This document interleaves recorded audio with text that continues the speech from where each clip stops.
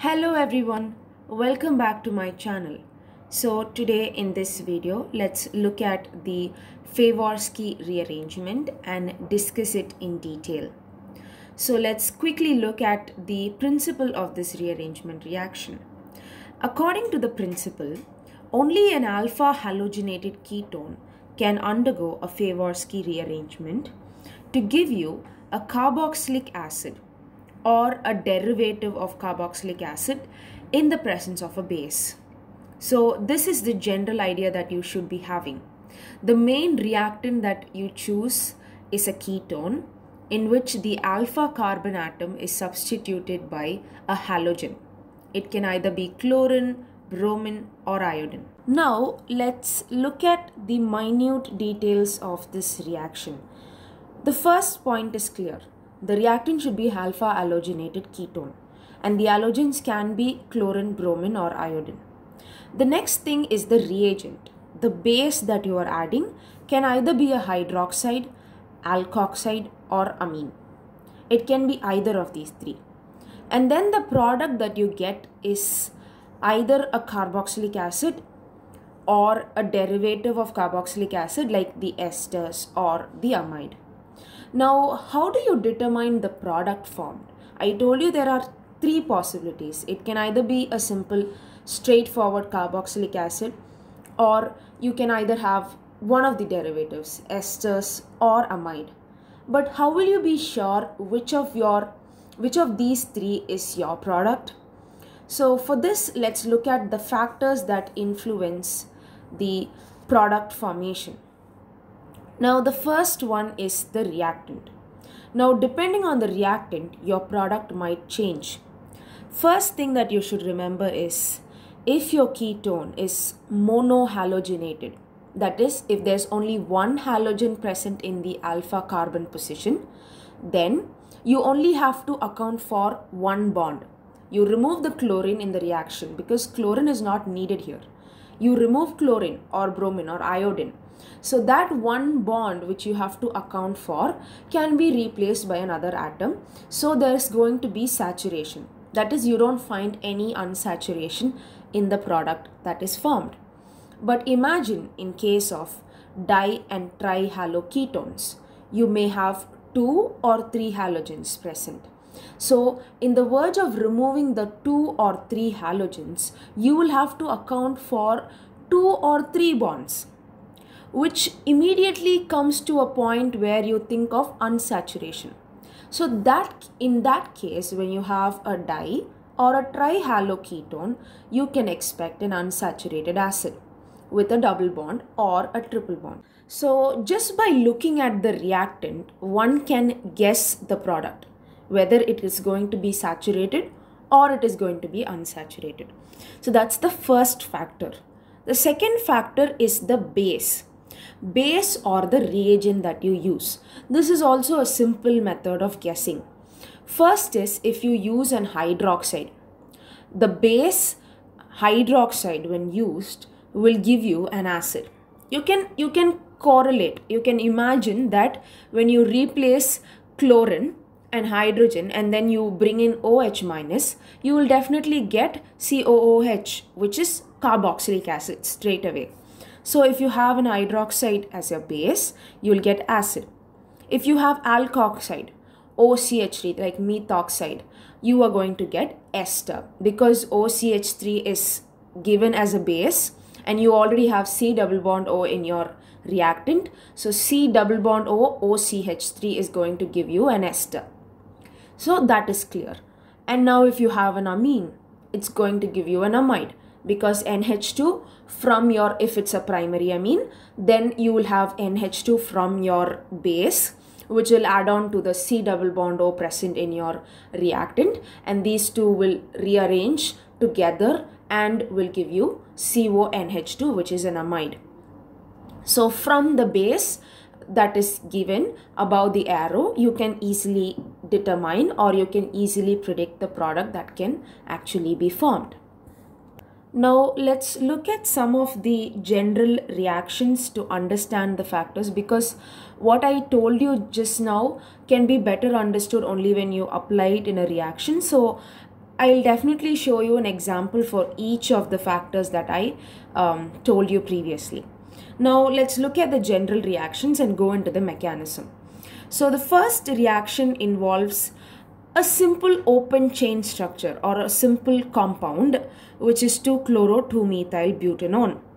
It is alpha halogenated because there are two alpha carbon atoms if you have noticed because this is your functional group ketone and you have two carbon atoms that are directly attached to it so you have alpha and alpha prime which means that there are two alpha carbon atoms and there's actually a significance for this which again I'll explain when we move on to the mechanism. So now uh, we saw that this alpha haloketone is going to undergo the rearrangement reaction in the presence of methoxide. So you must have guessed that you are only going to get an ester that is a derivative of a carboxylic acid and that's what you get as a product here. So we are only seeing the general reaction now. I will give the mechanism of each of these reactions in the course of this video. So the next one is involving a cyclic ring. Now you can see that the cyclic ring is also somewhat similar to an open chain structure in case of rearrangement reactions. You don't see a major difference or anything. It's the same only thing that changes here is that there is a cyclic structure here and there is no cyclic structure in the previous one. So I'm taking 1 chlorocyclohexanone again in the presence of methoxide ion. So I'm going to get a cyclic ester. Okay, so these are the two reactions that I'm going to discuss in detail with mechanism so that we can understand it for both the types. That is for cyclic uh, reactions involving cyclic ring structures and reactions involving open chain. Now um, let's move on to the mechanism. Now the most important concept that you should be knowing before we start with the mechanism is keto-enol tautomerism basically this is the concept or this is the idea behind this entire rearrangement reaction. So if you know this concept thoroughly you can definitely answer any question that is asked from this rearrangement this particular rearrangement reaction. So we know that tautomers are structural isomers that are chemically in equilibrium and can easily be interconverted so those are the tautomers. And we see that the structural isomers or tautomers in this case are the keto form and the enol form. Now we have the keto form, which is nothing but the ketone. But where during the course of this reaction do you get an enol form? And how does this enol form ultimately give you the product, which is either a carboxylic acid or a derivative of carboxylic acid is the point of study. Now let's look at the keto-enol tautomerism. Now I have a ketone here. There is a alpha carbon that is the carbon that is directly attached to the functional group which is the ketone. So this is the alpha carbon and there is a free hydrogen on the alpha carbon atom. So one of the most important and determining factors for keto-enol tautomerism is that there should be a free hydrogen or free proton present on the alpha carbon atom in the ketone that is taken. So if this criteria or this condition is satisfied, then that particular ketone will undergo tautomerism to give the enol form of it. That is its own structural isomer, which is an enolate or an enol form. So now let's look at this mechanism. Now the first step involves deprotonation or removal of proton. It will be removed as H plus and now you get R1C R2 C double bond O R3. This is R3. So now this carbon will have a negative charge. It will become a carbocation and this is called as enolate ion that is it's the precursor of an enol that is going to be formed now this enolate ion is highly unstable so to in order to make it more stable or in order to stabilize it the double bond shifts like this. So you get R1 and this negative charge will become a bond and will form a double bond between this carbon and this carbon. So you get RC R2 double bond C O minus R. So this ion or this intermediate that is formed is also unstable because the oxygen is carrying a negative charge.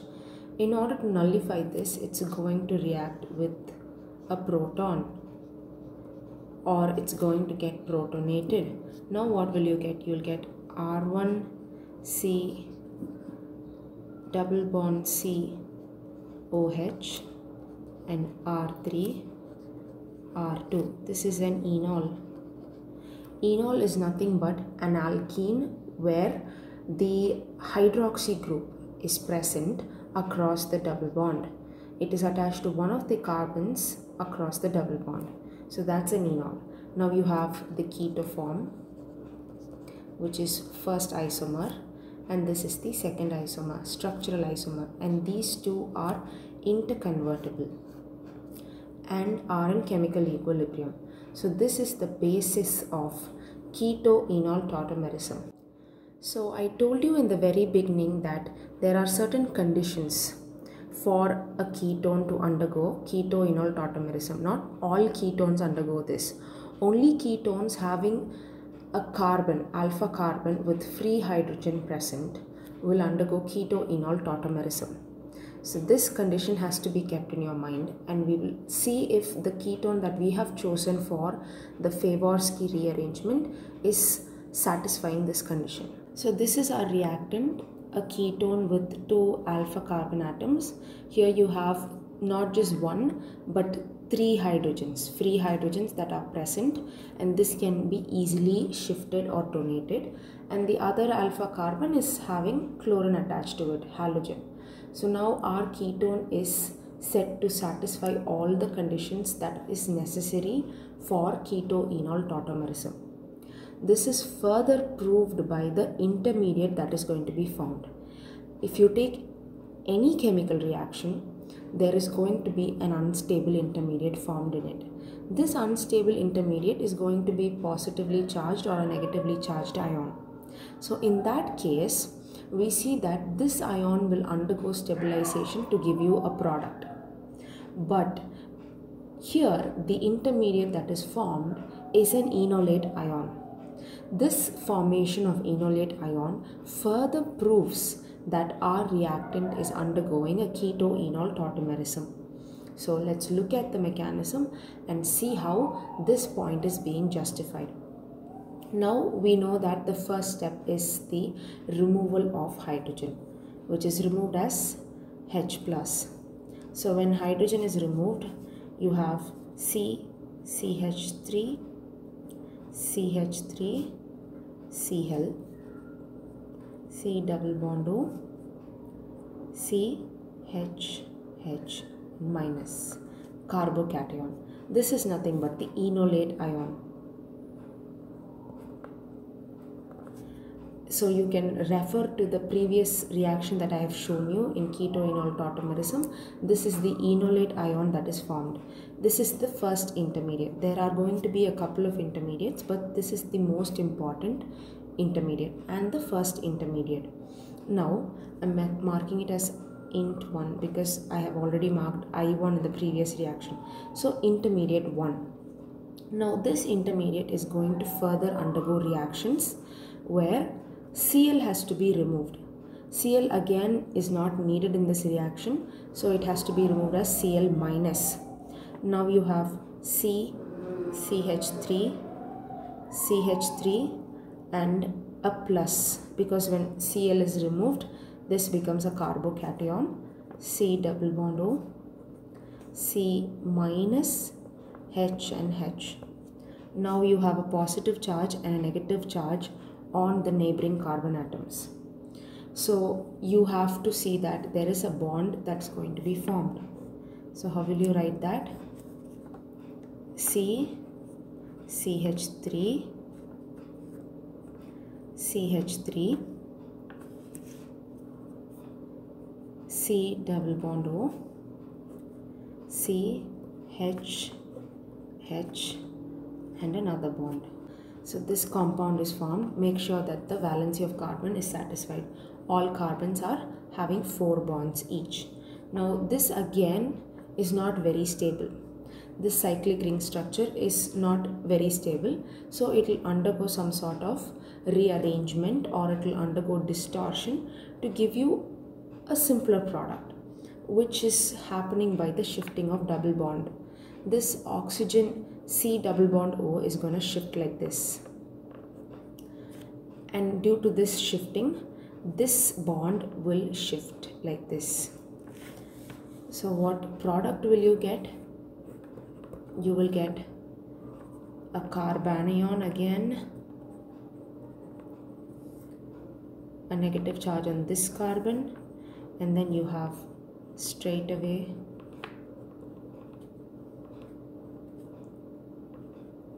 O minus. So this is the product that you will get. Now this again is an ion it's highly unstable. It's going to react vigorously. So all of this is happening in the presence of the base which is also negatively charged. So keep that in mind. So this is also negatively charged and all of these reactions are happening in the presence of the negatively charged base. So this can attack and take a position only when there is a positive charge obviously because i'm telling you this is a negatively charged base right so it will attack only the positive side now there is a partial positive charge here because the double bond is shifting from this carbon towards the oxygen. So this will become more electronegative, this will become more electropositive. So there's going to be a partial positive charge and a partial negative charge on oxygen. Now the base that we have chosen is a methoxide ion which is an anion. It has more affinity to a positive center. So this is going to come and attack the positive carbon to form a bond. So that will be C, CH3, CH3. This negative charge remains and CH, H, COCH 3 and O minus. Now this intermediate that is formed, so this intermediate I am naming it as second intermediate. This is your third intermediate. Now the third intermediate that is formed is also highly unstable. Again, you have to stabilize it somehow. So I'm going to shift this negative charge because this negative charge can lead to the formation of a double bond so i'm shifting this when i shift it i get ch3 ch3 I'm not shifting a bond but the electrons. There's a negative charge on carbon CH H C double bond O OCH3. Now our ester is formed but this has to be stabilized further. So now this negative charge is nullified by protonation plus H plus. So what do you get? you get CH, CH3, CH3, CH, H, C double bond O, OCH3, which is nothing but an ester. So this is an ester or a derivative of the carboxylic acid that you obtain by the rearrangement reaction of an alpha haloketone in the presence of a base. And we also saw how keto-enol tautomerism is happening because you're getting an enolate ion as an intermediate which proves that keto-enol tautomerism is happening as a basic reaction here. So this is the reaction or rearrangement seen in an open chain structure next we will move on to the cyclic ring structure. So now we are going to look at the reaction involving a cyclic ring structure. This is nothing but 1 chlorocyclohexanone. Here also you have two alpha carbon atoms. One is substituted with Cl and the other one is having a free proton that is ready to be donated or shifted. So now the first step. Again here also you have all the conditions satisfied so keto-enol tautomerism is going to happen. First step is the removal of hydrogen as H plus. So when removed you will get a carbanion that is a negative charge here double bond O and Cl. This is only your enolate ion first intermediate. This is highly unstable and moreover Cl will be removed from here. That will be the second step. Cl is removed as Cl minus and what do you get? You get a carbocation already there's a carbanion in this side of the ketone and on this side you have a positive charge so as I told you there's going to be an attraction and a bond is formed. So you get a ring structure that is somewhat like this. A bicyclic ring. So a bicyclic ring is formed by the bond formation between this alpha carbon that is this is alpha prime and this is alpha. So a bond is formed between these two alpha carbon atoms. Now this is also undergoing some kind of a change because your base has to be attached. That is the attacking agent. So it has to get itself attached to a positive center. But you don't have a positive center here. So there's a shifting of this bond so when this bond shifts you will get a positive center. So I'm writing it like this for convenience sake. You will get O minus and here there's a positive charge. There's a positive charge and this bond is present. Now OCH3 will attack the carbon that is having a partial positive charge. So the attack happens at this site and you get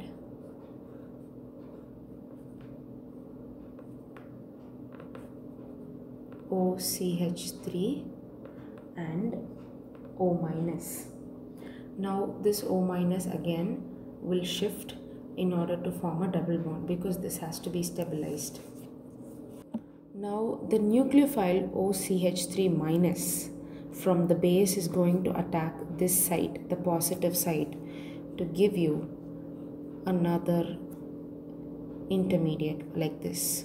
It's going to be OCH3 and O minus. Now this bond shifts over here and this bond shifts here. By doing so, what you get is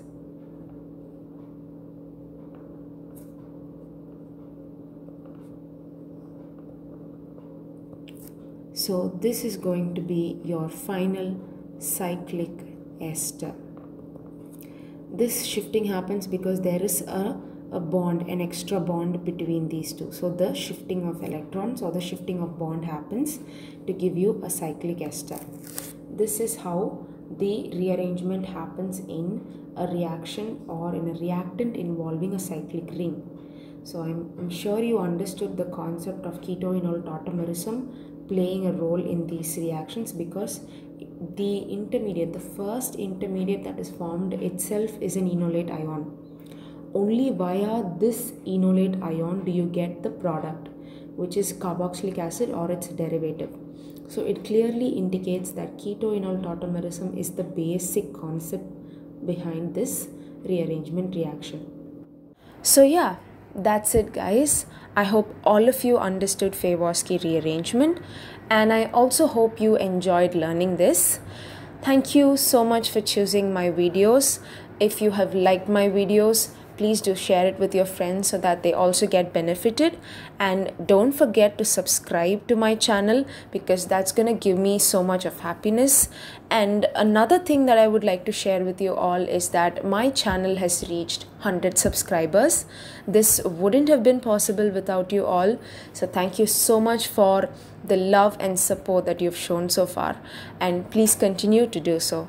Thank you all once again for being there with me and I am hoping to meet you all soon in my next video. Thank you.